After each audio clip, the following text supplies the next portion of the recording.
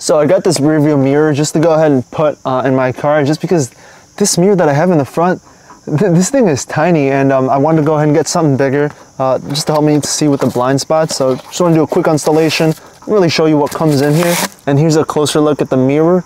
And this thing is really big. This, just, this makes this mirror look tiny.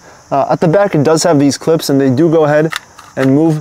So it just makes it easier to go ahead and install.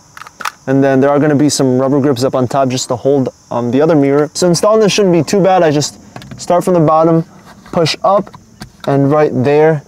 And yeah, this thing is, wow, this thing is huge.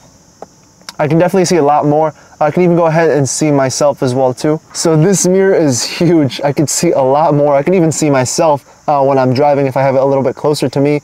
Um, I can see my blind spot, uh, although this, this headrest is a little bit in the way, uh, but that's fine. Um, I can even go ahead and see everybody uh, in the back seat. I can see everything clearly. Um, best of all, this looks pretty natural for the car. Like it doesn't look like it's something different. Um, it still matches with it. Uh, it also has very thin bezels.